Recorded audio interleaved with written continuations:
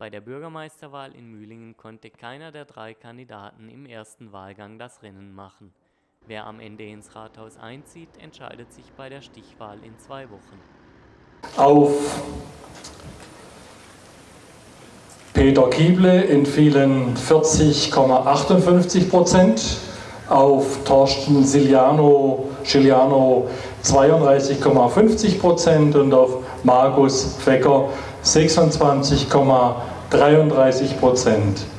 Damit ist festzustellen, dass keiner, keiner, kein Bewerber die absolute Mehrheit, also äh, der abgegebenen gültigen Stimmen, erreicht hat.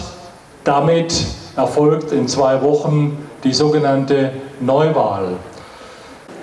Ja, heute Abend wäre eben die absolute Mehrheit notwendig gewesen. Das heißt also, dass auf einen Bewerber mehr Stimmen, also mehr als 50 plus eine, 50 Prozent plus eine Stimme entfallen. Das war jetzt nicht der Fall. Jetzt geht es in eine zweite Runde. In 14 Tagen findet die sogenannte Neuwahl statt. Es wäre nur möglich, dass noch jemand bis Mittwochabend einsteigt, also das heißt nochmal seine Bewerbung abgeben äh, wird oder könnte. Und äh, jetzt haben die Kandidaten Zeit, entweder ihre Bewerbung aufrechtzuerhalten, das heißt, dann brauchen sie nichts tun, oder dass vielleicht ein Bewerber sagt, ich ziehe meine Bewerbung zurück, oder alle drei bleiben im Rennen. Und äh, jetzt wird es für die Kandidaten dann angezeigt sein, dass sie nochmal Wahlkampf machen, und äh, für sich werben und Wähler mobilisieren. Und dann wird es auf jeden Fall am Sonntag in 14 Tagen einen neuen Bürgermeister in Lühlingen geben. Heute ist keine Entscheidung gefallen, kein Kandidat hat das Rennen gemacht. Woran lag es?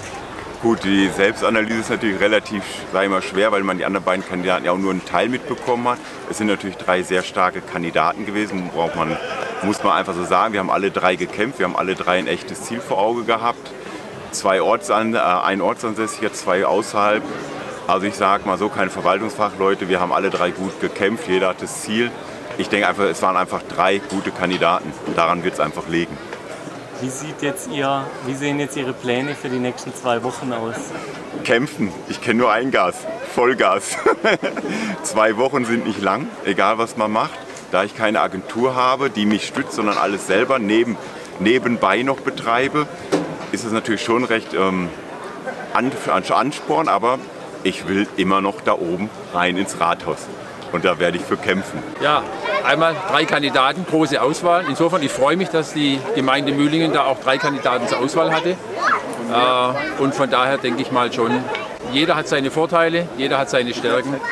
Und für die Bürger war das sehr, sehr schwer, äh, sich zu entscheiden, wer ist der richtige Kandidat. Und von daher ist diese Situation nicht schon etwas absehbar gewesen. Ja. Mit welchem Gefühl gehen Sie jetzt aus dem heutigen Abend raus?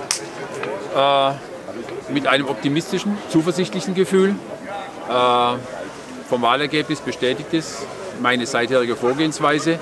Und äh, jetzt gilt es die nächsten zwei Wochen, die Wählerinnen und Wähler von meiner Person zu überzeugen und äh, ja, auch von meinem Wahlprogramm und von meinen Punkten.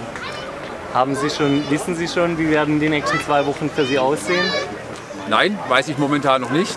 Äh, das machen wir, wenn es soweit ist. Und vorhin ist es soweit geworden und dann entscheiden wir das morgen, wie es weitergeht. Aha. Meine Familie unterstützt mich da wirklich super und von daher regeln wir das dann morgen, wie es weitergeht. So, mit was für einem Gefühl gehen Sie denn aus dem heutigen Abend raus? Ähm, gemischt. Einerseits positiv über die vielen Stimmen, äh, andererseits natürlich dritter Platz. Kann man ein bisschen was aufholen. Ähm, woran denken Sie, hat es gelegen? der dritte Platz? Ähm, war, glaube ich, schon ein bisschen der Jüngste. Das ein bisschen, glaube Und äh, wie sieht jetzt Ihr Programm für die nächsten zwei Wochen aus? Erstmal drüber schlafen, sacken lassen und dann mal schauen. Mal schauen. Also konkrete Pläne haben Sie jetzt. Werden Sie noch ein bisschen im Ort unterwegs sein? Ja. Mit, dass die Bürger. Wird es irgendeine Veranstaltung vielleicht geben, dass die Bürger auf Sie ähm, zukommen können? War jetzt nichts geplant. Ich glaube, Burger muss man erst mal ein paar Tage in Ruhe lassen. Das jetzt sehr intensiv die letzte Woche. We- Werden Sie äh, antreten nochmal in zwei Wochen? Äh, zu 99,9 Prozent, ja. Eigentlich schon. Also, ist ja noch nichts verloren.